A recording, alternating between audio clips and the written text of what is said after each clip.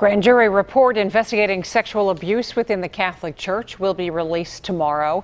It is expected to identify hundreds of clergy members accused of sexual assault over the past 70 years, including some from the Pittsburgh and Greensburg dioceses. Ralph Iannotti spoke with one of the victims tonight, and he joins us live with that part of the story. Ralph.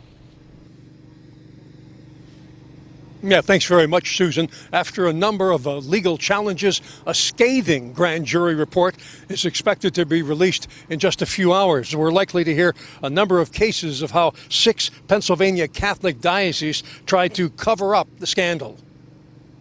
They swept things under the rug very well. Um, the priest that abused me, and uh, three other boys uh, was at a previous parish and was moved to my parish afterwards. 47 year old Robert Mizic has waited a long time for the release of the grand jury report on Catholic clergy sex abuse. He lives now in the Pittsburgh area.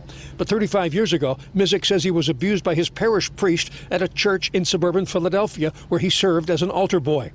The grand jury report is expected to detail cases of how predator priests were mishandled by Catholic dioceses across Pennsylvania. And Ralph, that's the true travesty. I mean, uh, to, to, to know that they knew, and they knew, and, and moved these priests uh, to endanger other children is um, uh, deplorable. After learning of the abuse, Mizic says his mother told church officials and police about the abuse, but no action was taken against the priest.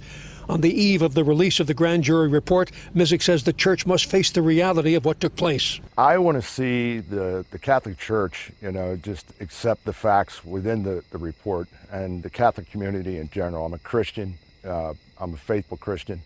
And I'd just like to see the victims get justice from this. Mizic says in his case, the abuse started as sexual, then it was physical and emotional. His answer to those critics who say, why now bring up these clergy abuse cases that occurred so many years ago? I would say uh, walk in my shoes and a survivor's shoes. It's a horrible way of living. I had my uh, puberty stolen from me, um, uh, my life stolen.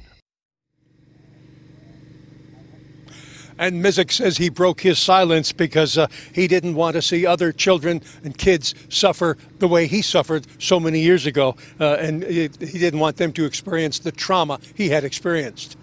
We're live tonight. I'm Ralph Iannotti, KDKA TV News. And we will have team coverage on the report tomorrow to explain what it all means. We also have the very latest from State Attorney General Josh Shapiro and how Pittsburgh Bishop David Zubik is responding to the report.